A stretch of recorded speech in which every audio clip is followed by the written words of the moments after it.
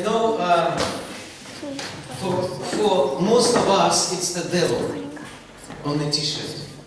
You know, for most of the Christians, when they see the uh, wolf, it's just, oh, this is the devil. I mean, this is how people think. So it's like, why did you bring us wolf? I mean, uh, it's Africa, it's a Lion King, it's uh, all about lion. Can you imagine uh, someone gives to somebody, like I, I ask you to come, and then I give you a prophetic word, and they say, you're like a wolf. Alright, so I think it's some false prophecy or something like that. This is the representation of the last tribe, the tribe of Benjamin. The Benjamin is a ravenous wolf, always in the morning and in the evening has got his portion. Without Benjamin, the son of his right hand, things are not going to change. It's a 12th stone on the breastplate of the high priest, which is Jaspis stone. And uh, this means perfection and maturity. Without Benjamin, there is no perfection and maturity. And this is the, not exactly the same face, but the head of the uh, wolf. It's on the tribal identity of Benjamin. And Benjamin is the blood brother of Joseph. And Joseph is Jesus. We are blood brothers with Jesus. Yeah. And Benjamin would get five times portion greater than all the other brethren. Yeah. Because five, we know the number of grace. It's a special grace on Benjamin. And we are the Benjamins because we sit with Christ in the heavenly places. We sit with Him in the heavenly places. So it took me uh, quite a long period of time to adjust my thinking. Because for me, wolf was something, you know, we're all wolves and uh, red hood and wolf, it's like everything was negative. You know, wolf, one of the cleverest animals, not the fox. Fox very stupid, actually. You can check it out. The wolf. And what I like about the wolves is a team ministry. It's not just somebody great and big and uh, it's just a pack. It's just a team. Uh, it's just a team ministry. And we know that the Paul was Benjamite from the tribe of Benjamin, the Apostle Paul. So there is so many things like that. But uh, I, I don't want to specifically today speak about that, but I decided, okay, the message will be, you know, the, uh, the message will be good enough. We recently went to Turkey also for the ministry, and there was a ring with the wolf's head. And I felt that I need to buy it, but I didn't because I thought, oh Lord, what will people think of me? And they will crucify me. And then I, uh, and then the Lord spoke to me and said, when you are crucified with me, you don't actually care whether people will crucify you or not. You're already dead. Yeah. Don't worry about that. So, but I haven't bought it anyway. Uh, next time I'm going, uh, I'm going to buy. So this weekend, I told Elsie that, um, especially tomorrow, why all these things? Because I want to share something from the ancient Hebrew about a certain words, a certain specific things that you will see and I believe you are going to be amazed. And I told Elsie that I want to, I want to share some deeper things. I want to share some meat, not milk, um, not milk but meat. Yes. And uh, oh. because there are four types of food. There's a milk, there's a bread, there is a meat and there is a mystery. The mystery. It's the fourth, the highest. There are four types of interpretation in the Bible, according to the Hebrew people, and the fourth one is the sod, as the sod is the deepest interpretation of the word. Lord God is, does nothing unless He reveals His sod, His what is the sod? It's the counsel. It's the counsel of God. Who has stood in the counsel of the Lord to see and hear His word? It's a friendly, intimate counsel. It's the counsel of close, intimate friends. This is when we are friends to Jesus. Then we get invited to that counsel where He shares with us the secrets of His heart. And I want to know the secrets of his heart. I'm not satisfied with milk anymore. There was stages when we needed the milk, but now we need something uh, more, more solid. We need to learn to walk in the revelation, in the revelation knowledge, not just in the information. Yeah. Because information anyway will not be able to change anything.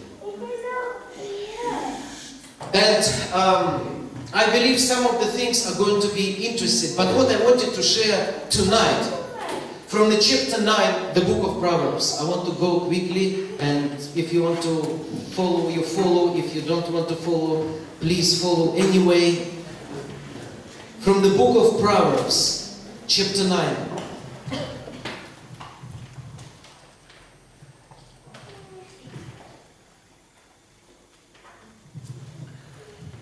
It's all about wisdom. It's about wisdom. What I've learned in my life, most of the problems in my life, not because of the devil, because of stupidity. Because of the stupidity. I do something wrong, I make wrong choices, I didn't obey God's voice, I presumptuously choose my own way, then suffer, and then I blame God. And say, Where was you? Why didn't you help me? Why didn't you protect me? Why didn't you this or that or something?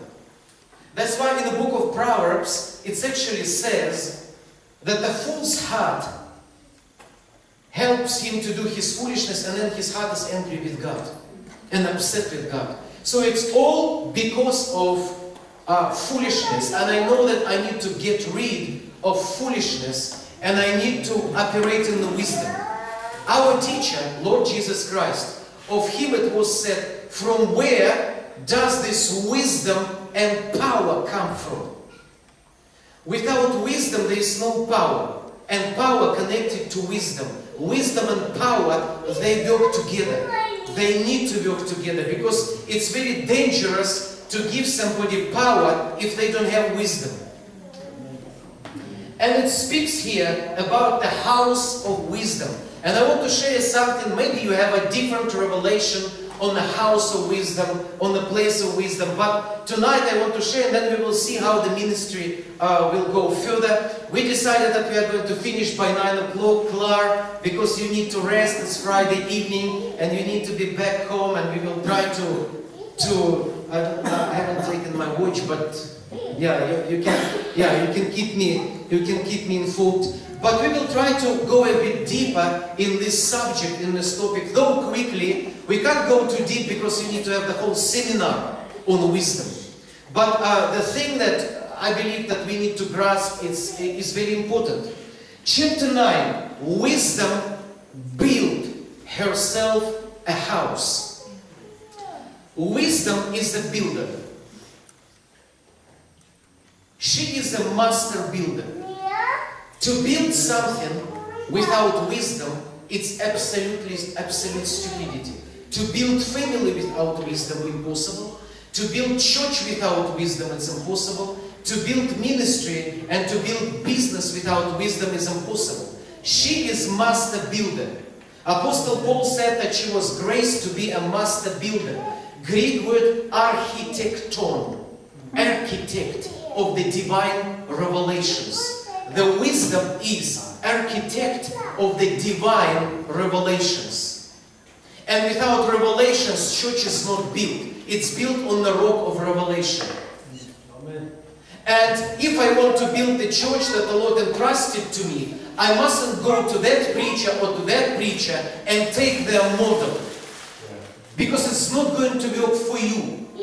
We need to get on our knees and we need to get the blueprint which is suited for, for the specific family, for the specific ministry, for the specific church. Otherwise, we are just cloning things. The church is built according to the pattern, and this pattern the Lord acknowledges in His Holy Scripture. And this pattern is New Jerusalem.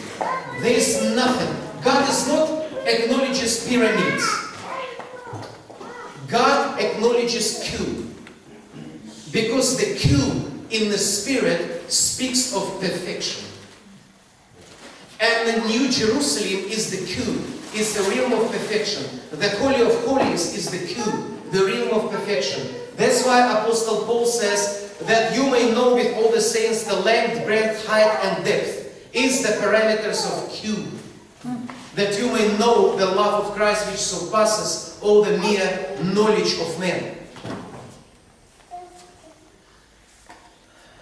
You know, when we were small in the kindergarten, we played a game which called Mothers and Daughters. I don't know, have you played this game? It's like you play family thing and somebody is the child, somebody is the daughter. I think you play. Somebody is the mother. And we still in that place. And we still play mother church and daughter church. There is no thing like mother and daughter church in the Holy Scripture at all. There is mama, mama, you know. And there are daughter churches that mama church plants. And then mama feeds them. And they look to mama, mama, mama, please feed me. But the word of God says that our mother is heavenly Jerusalem. The book of Galatians, Apostle said, but the Jerusalem from above is our mother. Check it out. Mother is the uh, word matter. Matter is the matrix. Matrix is a womb. That's why God builds everything according to heavenly blueprint. And the wisdom knows the heavenly blueprint of God. That's why in the same book here, in the book of Proverbs, it says, by wisdom the house is built. So she built, she's a master builder, herself a house. What is that? A dwelling place. Every spirit wants to have a dwelling place. Demons want to have a dwelling place. Holy Spirit found a dwelling place in us. Father found a dwelling place in us. Because he said, I will indwell them and walk in them, and they will be my children, my sons and daughters, and I will be father to them. Jesus Christ said, I am looking for the place where I can lay my head. It means where I can be a head. And this is the Zion. It's the church of the living God. Not that Zion that you know about. Um, Moriah, Moriah, whatever. So it's some, it's it's a governmental place. We will speak more about that tomorrow. In heavenly, in heavenly places, there's a Father's house, which has got millions of different mansions. And one of them, in the house of the Father, is the house of wisdom. And the highest personification of wisdom is the Lord Jesus Christ. We all know it. But the wisdom built her house in heaven. But she wants, why I say she, because it's chokmah in Hebrew. I don't want to say that she is woman. I don't want to say that wisdom is woman, pretty woman and so on. I just use she because chokmah is a feminine in, in, in the original Hebrew, so it doesn't really matter. And um, so, but there is another house where, that the wisdom wants to build. Here. Because it's not going to be any point unless the wisdom dwells here. And we will see what it happens here. Some translations say she has built herself a temple. And we know that God by wisdom builds. She has hewn out and set up her seven pillars. Seven is the number of fullness and completeness and perfection. Again, like in New Jerusalem. But also, what are the pillars? Pillars support something. The foundation of wisdom is the fear of the Lord. But she builds on the foundation which is the fear of the Lord. But the columns, the pillars of support of the house, there are seven pillars. Remember, Jesus says in the book of Revelation that I will make you a pillar in the house of my Father, and you will not go out anymore. And the Word of God also says in Timothy that the church is the foundation and the pillar of truth. So, who are those seven pillars? It's actually us. It's actually us because our primary purpose as a church is to make known to principalities and powers in heavenly places manifold, multicolored, multidimensional, multifaceted wisdom of God, Apostle Paul said. This is the eternal purpose of the Father, that through us the wisdom of God will be made known. Why? Because only the church, true church, has got capacity to manifest wisdom of God. There is no other being in the universe which can manifest the wisdom of God. Seraphim, they are beautiful fiery beings made of the fire of holiness of God. And what they're made of, that they praise and glorify in the realm of the Spirit. That's why they say, Holy, holy, holy is the Lord God Almighty. And the whole earth is filled with His glory. Cherubim, they are the guardians of glory realm. And they are the carriers of the four faces of God and manifestors of the glory of God. Yet, uh, and they made of the glory. That's why they praise the glory of God. And they say, Blessed be the glory of the Lord from His place. And they meant the throne, sapphire throne, on which, in the likeness of Man, somebody is seated. Angels are made of the substance of light. That's why they are the beings of light. But only us, only we are created according to the image and likeness of God. No other being in the universe is created like us. Only through the church he can display the manifold wisdom of God. And it's quite a responsibility. And when you look at the church now, you think, have mercy, God. I don't know how it's going to happen, my God, with everything which is going on. But also, the seven pillars need to be established here. And um, I want to share with you briefly about those seven pillars also.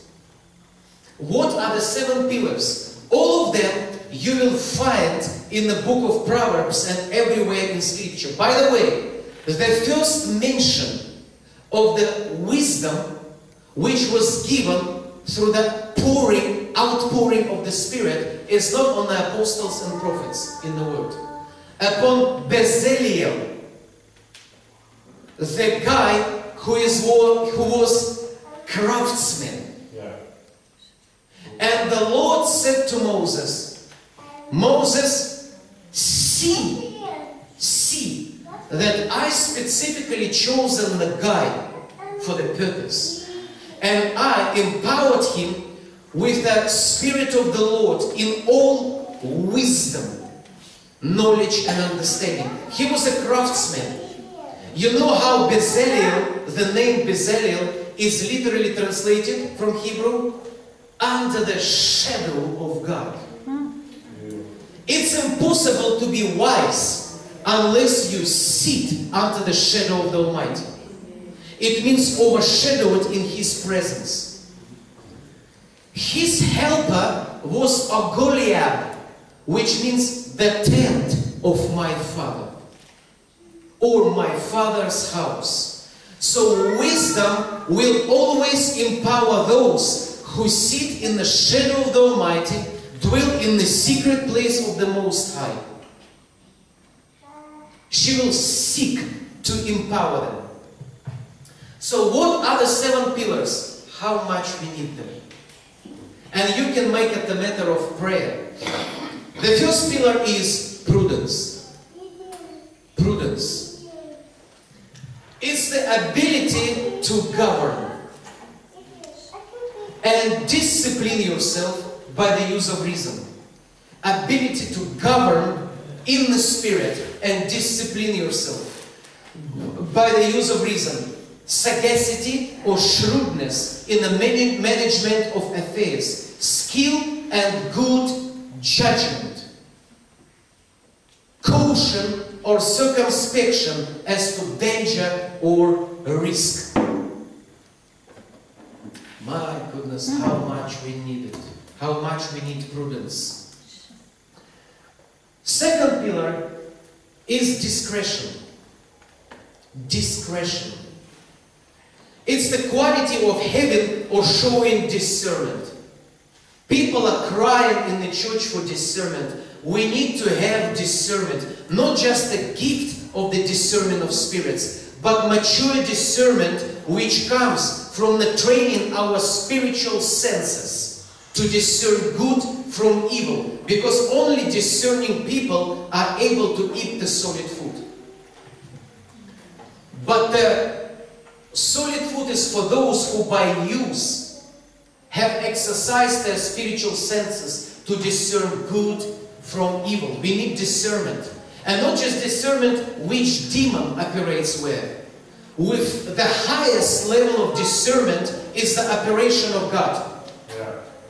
All intercessors, they go to the town and they check out, check out demonic in the town.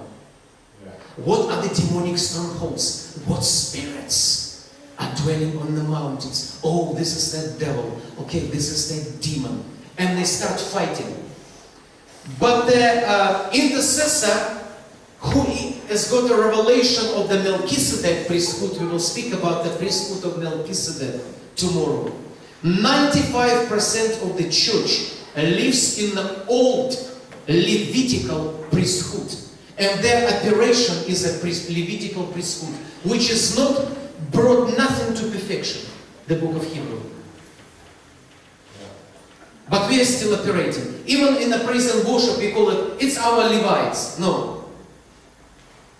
There is a leader of the praise and worship. Meet him. I always say that the leader in Germany is Führer. and Führer was Hitler. You know. I said, leader. I thought Holy Spirit is the leader of the praise and worship. That's interesting. That's interesting. You know, pyramid. Yeah. Where somebody is need to be, you know. Uh, all right. So discretion, discernment. But a, a new intercessor would come into the town and they don't care about demonic.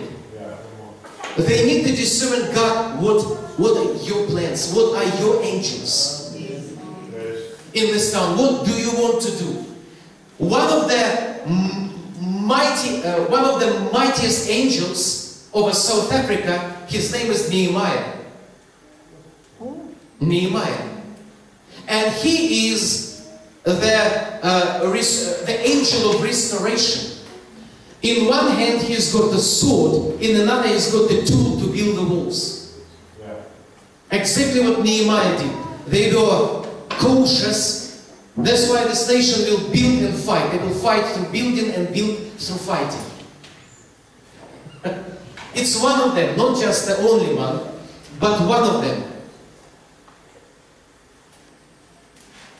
I remember in uh, Istanbul, we were praying uh, on one of the high places in Istanbul, and suddenly the realm of the spirit opened.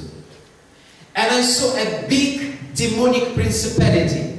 He had a very thin face, his eyes were red, his nose was, nose was like that, and he had a very long beard. And that thing looked at us and it was so angry. And I said, Lord, who is that? And said, it's the prince of Persia, which Daniel encountered. You know, which Gabriel encountered when he was uh, bringing, delivering the word to Daniel. And that thing was very angry, and it started uh, doing that. And the black particles of darkness started separating from it, formed a cloud, and the cloud started moving towards them. And I said, Oh God, what we do? Nothing. Absolutely nothing. Just praise me and glorify me. And as soon as a cloud came closer, it was just it's just dissipated. Another vision I had, um, there was a wilderness. I was taken in the spirit in the wilderness. All the trees in, the, in that wilderness and all the bushes in that wilderness were burnt. And even the sand burned. It was like a glassy substance. And they knew, okay, you deal with a dragon here. You deal with a dragon. And then they saw under the huge tent, black tent, there was dragon lion. And on the, uh, his forehead was the symbol of Islam. And I said, okay, that's interesting. And I said, Lord, who can destroy this dragon? And then I hear, don't look at the statue of dragon. Look at the one I am going to send to sort out this guy. And this is where was my second encounter with Archangel Michael. And when I looked at this, it's interesting that um, his uh, uh, the color of his skin not white and not black.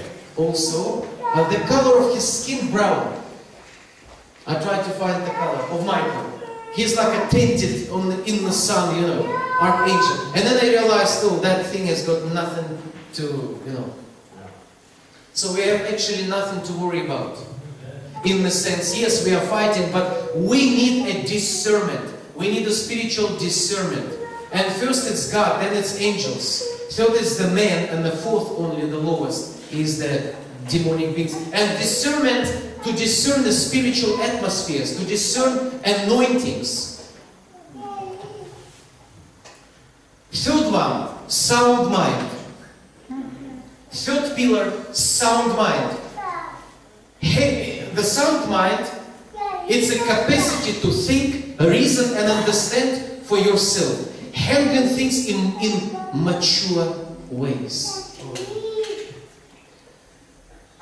Person with a sound mind handling things in a mature way. Good, healthy, not damaged or per perverse mind. Fourth pillar. What's the time, Elsie? Five past eight. Five past eight. Okay, that's good. Okay. So, uh, fourth one, foresight. Foresight. It's ability to see into the future. But when the Holy Spirit comes, He will show you things which are to come. He will show you the future. David says, Oh God, it was even a small thing that you spoke about my house. You even spoke about my house into the future. I know the thoughts to give you future and hope, yeah. God says. It's ability to see into the future. It's not diviners who need to see into the future. They can't. They are operate by demonic spirits. And they play guessing games. We can see the future because the one we serve, uh, who is, who was, and is to come. Original Hebrew says, uh, original Greek says, is keeping coming, keeps coming. It's not about second coming of Jesus. He constantly keeps coming to us. And uh, remember in Isaiah says, your eyes will see the king and then be, and will behold the distant land from the future. When you know the future, you are undefeatable. When you know what you are going to do and how you are going to minister five years from now, you will not be afraid to fly airplanes. Because nothing will happen to you until you fulfill the purpose of God in your life. Nobody can take you out. To prepare, why do we need to, to know the future? To prepare in advance. To prepare. God may show us a conflicting situations in the churches for us to prepare in advance. All the conflicting situations in our church, all the trouble, troublemaking, I had in my dreams already revealed two, three months before it happens. And my heart is prepared. Remember, jo uh, remember uh, Joseph?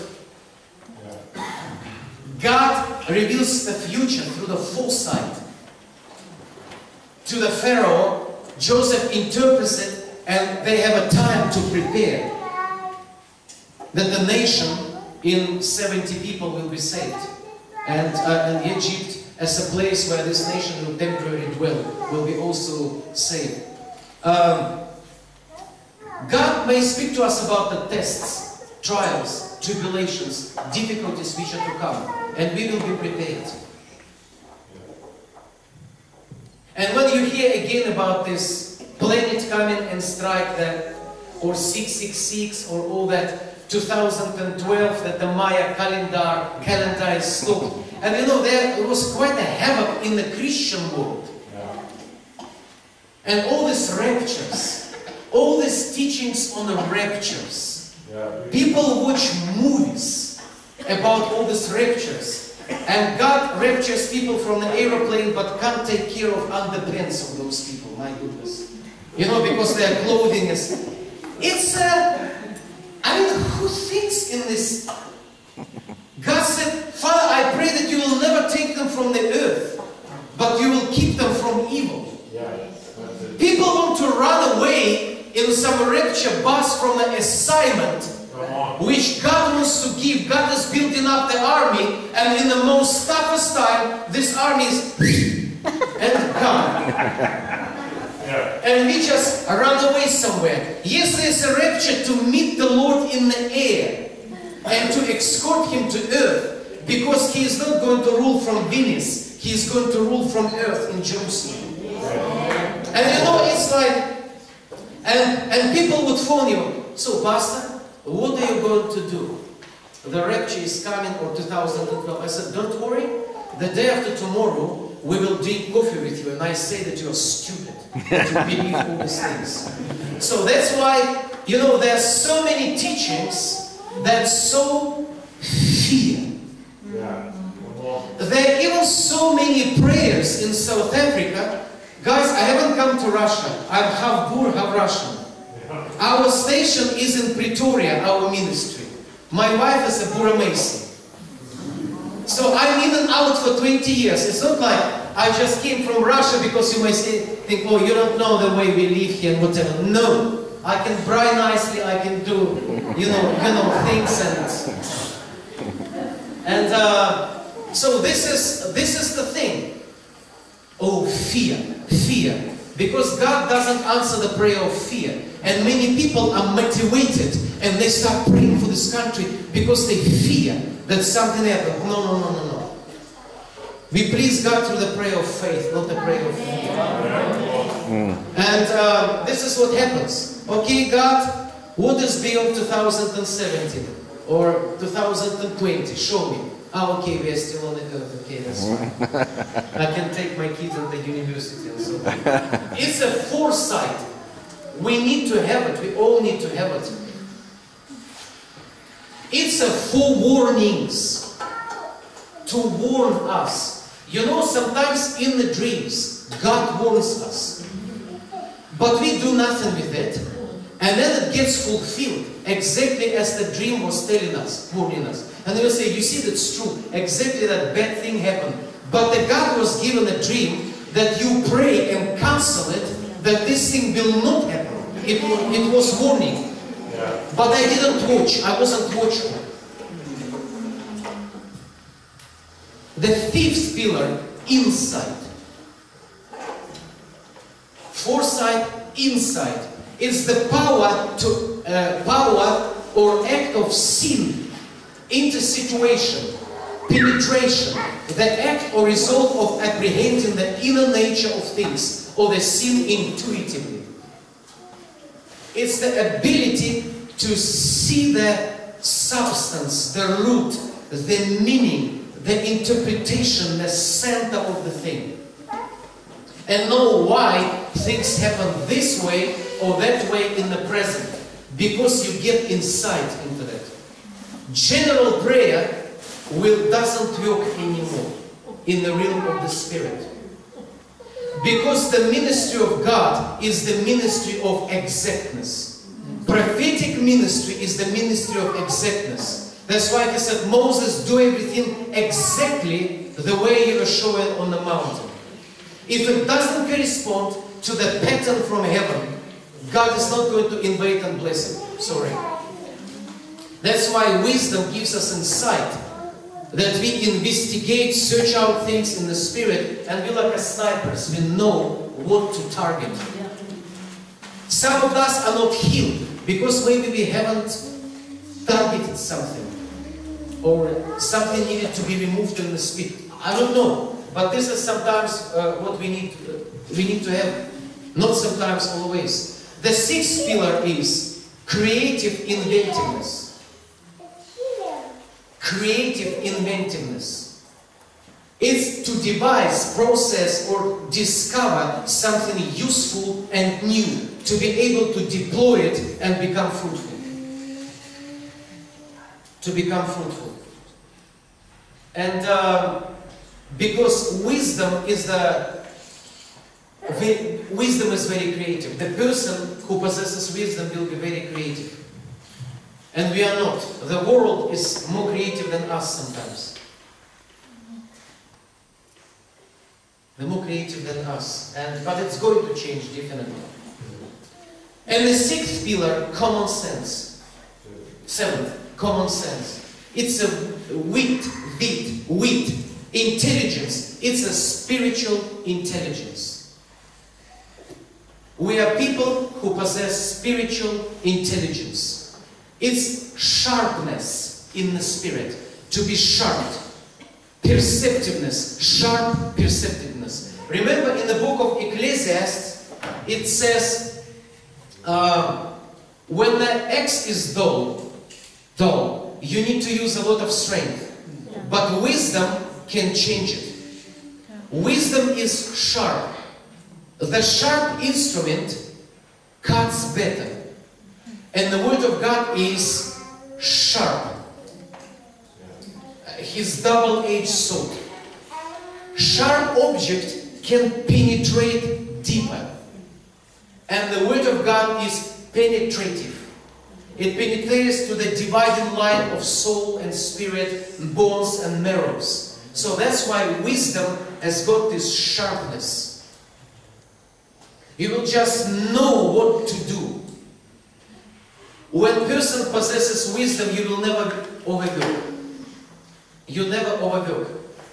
She gives you inventions and right things which will just open the doors and opportunities. She has killed her beasts. Another translation said she slew her sacrifice. So the wisdom of God slew Jesus Christ on the cross.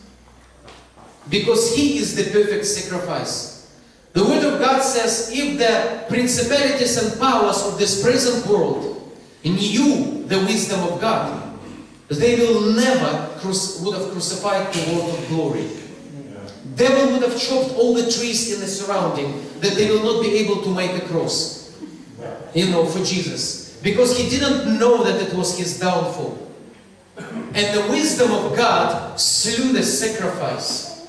For our, it, it was for our sin definitely and everything, but this is what she did. She brought the sacrifice on the altar, and the altar is the cross. And we eat from that altar. Our altar is the cross from which we eat. She has mixed your spiritual wine there, there is a wine, and wine changes the structure. That's why God turned water into wine. We get filled with the water of the Word, but then we, the water needs to be turned into the wine, into the substance that can influence. And she mixed a different ingredients in the wine. What are those? Nature of God, qualities of God, virtues of God. This wine is actually the Holy Spirit in all the different manifestations of it and the nature of it. She has also set her table. She set her table and put foods on the table, which speaks about the word of God. Then it says, you prepare a table for me in the presence of my enemies. My cup runs, you see, overflowing this principle of cup and the table. Table on the cup and food What is the table? What is the cup? What is the food of the table? On the table, fellowship. Fellowship with the wisdom of God. She has sent out her maids to cry from the highest place of the town. And you will read further that the wisdom chooses the also high places. What are the high places? Thoughts in our mind. And high place is the frequency. You know what is the crown?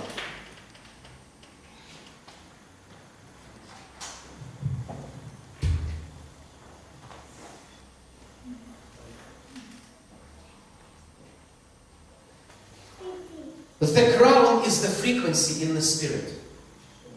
It's a thought which crowns. That's why Jesus has got many crowns. When in the spirit the Lord gives you a crown, it means He gives you a certain way of thinking, and the frequency of that thinking of the mind of Christ changes your thinking according to the His pattern, and you start ruling according to that frequency in the realm of the spirit and natural. And the creation around you has to respond to that frequency of the crown because crown is the rulership.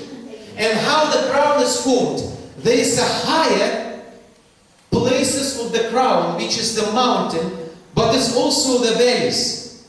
Here is our giftings and supernatural abilities. Here our character forms formed. And we need both in order to rule.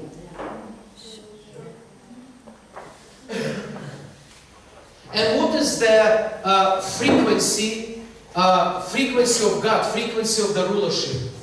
144,000 who follow the Lamb wherever He is. Of the increase and multiplication of your government and of peace. There is no end in the kingdom of God. Dominion and the government is upon his shoulders, the shoulders of Jesus. Number of the government 12. Of the increase and multiplication of his government, 12 multiplied by 12, 144,000. And 144,000 uh, of cubits is the height of the wall of the New Jerusalem. And salvation He has given us instead of wall. It's the wall of salvation. So this is the frequency of those who haven't defiled themselves with a woman. Because they are pure, they are clean. It doesn't mean physically. There is only two women in the Bible. One is the prostitute, another is virtuous woman in the Proverbs 31. There is only two towns, main towns in the town. One is uh, in the Bible. One is Babylon, another one is in Jerusalem, New Jerusalem. There is only two women in the Proverbs. One is Mrs. Stupidity and another is Lady Wisdom. There is, uh, there is nothing else. Those who haven't defiled themselves spiritually with any other beings and any other spirits. It says they are on the Mount Zion. Mount Zion is the mountain of government. They rule with Christ and they go wherever He goes. Because they are led by the Lamb. It's not 12,000 Jewish people from each and every tribe. Yeah. You can't take the numbers in the book of Revelation literally.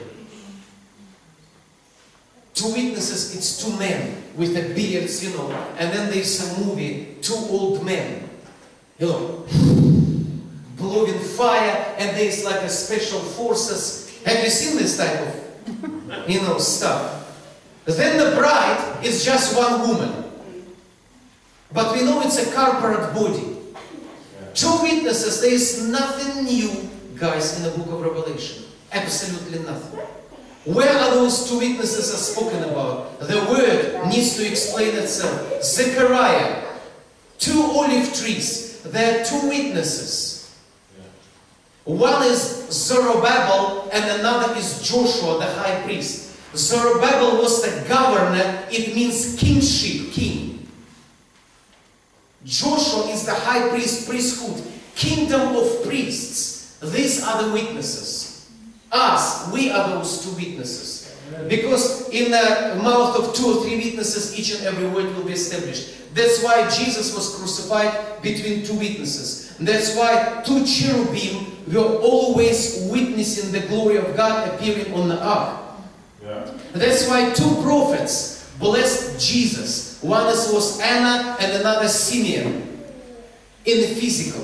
Why? Because two form portal.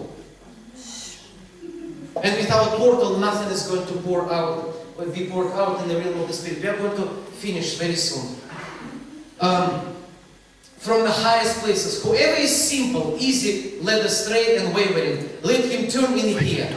As for him who lacks understanding, wisdom says to him, Come eat of my bread and drink of the spiritual wine which I have mixed. Live of simple ones, forsake the foolish and simple-minded, and live and walk in the way of insight and understanding.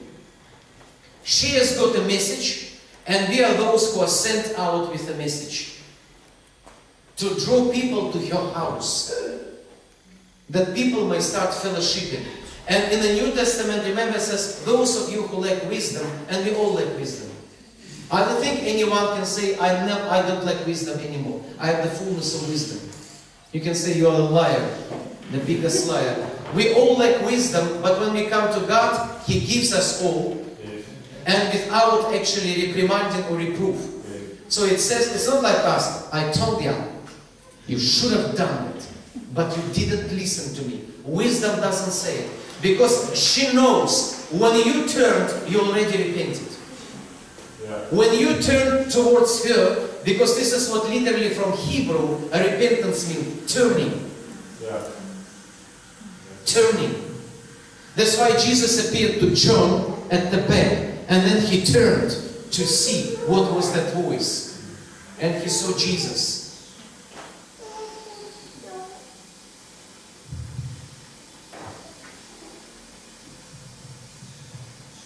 Uh, how to practically engage by faith.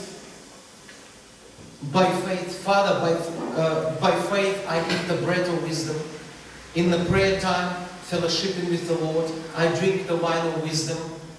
I, I receive instructions. I pray, Lord, that in my mind, in my being, uh, the seven pillars will be built.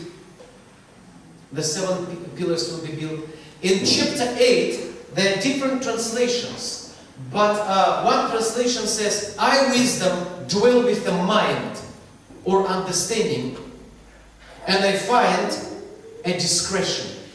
So wisdom needs a dwelling place. Isn't it interesting that um, Hebrew word for mind, Hebrew word for mind, looks like that.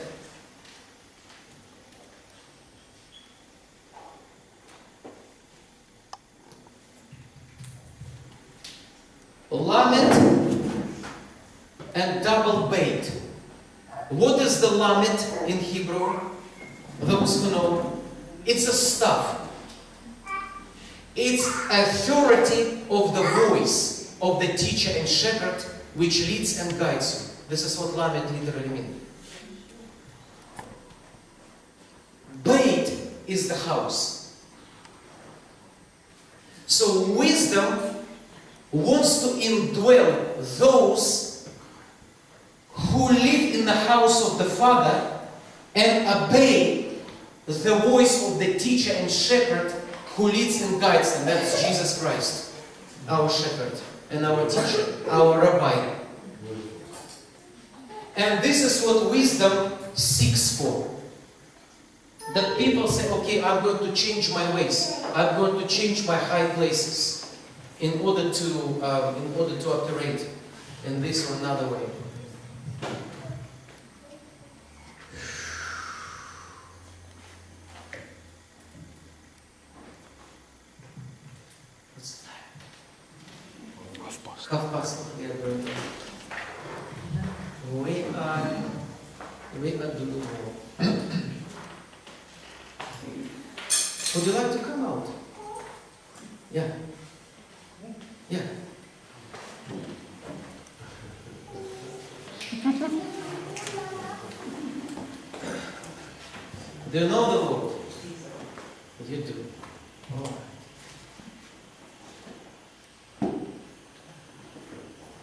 And what's her name? Denise. Denise. And what's the meaning of Denise?